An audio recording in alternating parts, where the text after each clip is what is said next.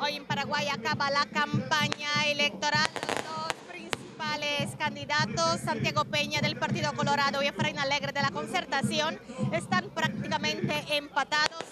Eso sí, a pesar de los petardos que estamos oyendo, ha sido una campaña diferente porque el Partido Colorado, que actualmente gobierna Paraguay, ha tenido problemas de financiación consiguiendo al final 3 millones de dólares menos de lo esperado y esto por las sanciones económicas impuestas por el gobierno de los Estados Unidos a Horacio Cartes, presidente del Partido Colorado y declarado por la Embajada de los Estados Unidos significativamente corrupto.